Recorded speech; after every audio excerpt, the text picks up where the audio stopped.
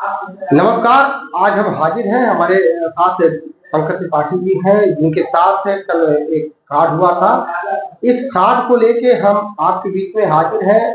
मेरा उद्देश्य है कि आपको जागरूक करना है, आपके साथ ऐसी घटनाएँ ना हो। अगर घटनाएँ हो भी जाती है, उसे कैसे जा इन सब बिंदुओं को लेके हम हाजिर हैं। तो पंकज जी, आपसे हम जानना चाहते हैं, कैसे आपके साथ कल क्या हुआ सभी भाइयों को, सभी दोस्तों को नमस्कार। मेरे साथ कल एक स्कैम हुआ मेरे क्रेडिट कार्ड से बारह हज़ार पाँच सौ एक रुपए का अनऑथराइज ट्रांजेक्शन हो गया। जिसका डिटेल मैं आपको बताता हूँ कैसे हुआ है। मेरा एक सीएससी का ग्रुप है जिसमें मैं करीब तीन सालों से जुड़ा हूँ। और ये मान के चलिए जनसेवा केंद्र जो होता है उसका एक ग्रुप है। तो उसमें जनरली जो होता है जो मैसेज आते हैं या एप्लीकेशन आता है वो जेन्यून होते हैं। कभी ऐसा नहीं होता है कि गलत मैसेज आते हों। लेकिन पहली बार ऐसा हुआ कि एक एपीके आया एपीके एक एप्लीकेशन टाइप होता है, जिसे आप प्ले स्टोर से डाउनलोड करते हैं।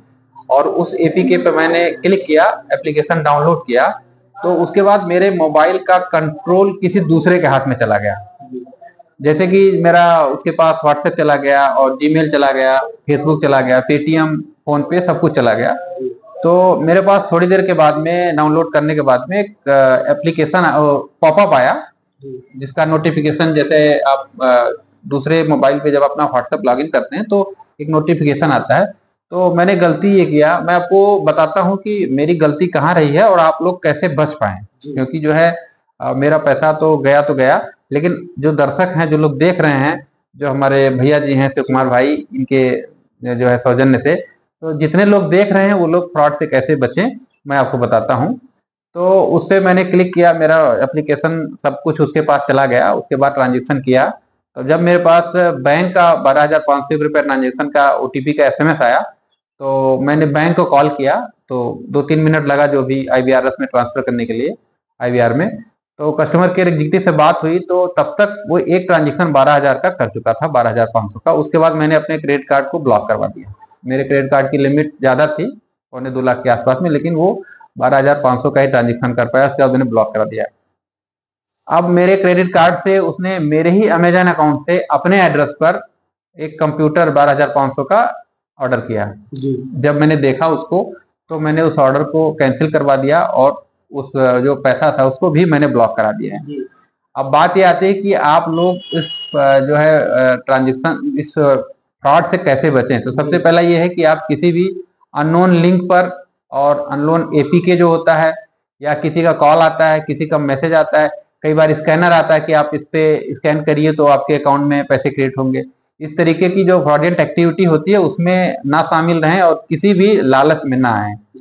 और अगर गलती से आपके साथ ऐसा हो भी जाता है मान लीजिए आपने गलती से कोई एपीके डाउनलोड कर लिया तो उसके बाद सबसे पहले जैसे आपको पता चलता है आप अपना मोबाइल का सिम निकाल दें। मोबाइल का सिम निकाल करके उसके बाद आप अपना जीमेल का और जो फेसबुक है या अन्य जो भी आपके पास यूपीआई है जैसे भीम है या फ़ोन पे है उसका पासवर्ड तुरंत चेंज करें। तो इसके थ्रू आप इस जो है स्कैम से बच सकते हैं और कोशिश करें कि अनऑथराइज एप्लीकेशन को डाउनलोड करने से या उपयोग करने से दूर रहें। ये हम आपसे एक सवाल हमारा ये है कि हमारे गाँव के जो लोग हैं ये जो लोग पढ़े लिखे कम है वो भी फ़ोन पे गूगल पे यूज़ करते हैं और उन्हें तकनीकी जानकारी इतना नहीं होती है। आपने आपने कहा भी कि ऐसे कार्ड होते हैं तो मोबाइल का जो सिम होता है निकाल लें। तो उस सिम को कैसे निकालें? मोबाइल को स्विच ऑफ़ करें कि ना करें?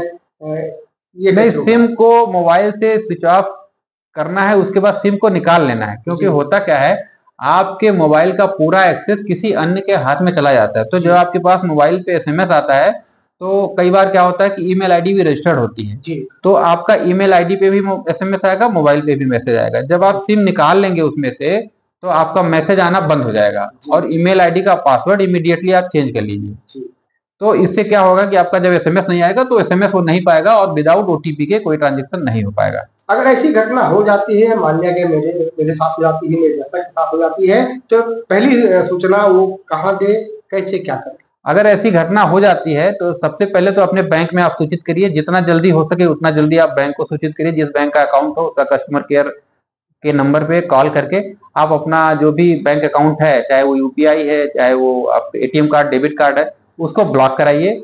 उसके बाद साइबर सेल का नंबर है वन नाइन थ्री ज़ीरो उन्नीस सौ तीस साइबर सेल का नंबर है। साइबर सेल को आप फ़ोन करिए तो ट्रांजेक्शन नंबर के साथ ही फ़ोन करिए। अन्यथा वो लोग आपके कंप्लेन को नहीं सुनेंगे। जब तक आपके पास ट्रांजेक्शन नंबर नहीं होगा, तब तक आपका कोई भी कंप्लेन लिखा नहीं जाएगा।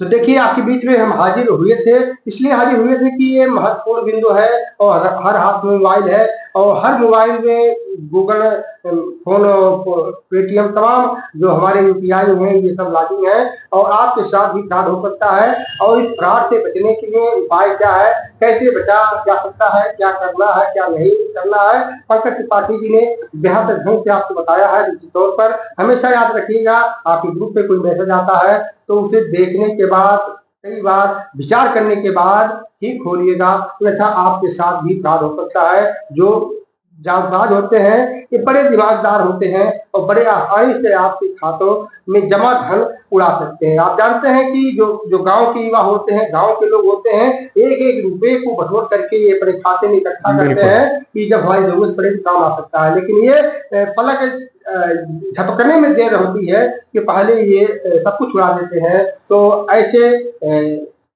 जो जालसाज है, उसे काफ़ी दूरी बना के रहें और हर दूसरों को देखते रहें और बड़े सावधानी से काम करें। मेरा खबर करने का उद्देश्य ये था कि आपको परेशान करना नहीं है आपको सिर्फ़ जागरूक करना है मोटिवेशन करना है, कि आपके साथ ऐसा ना हो सके। आज के लिए बस यहीं तक। नमस्कार, धन्यवाद। नमस्कार।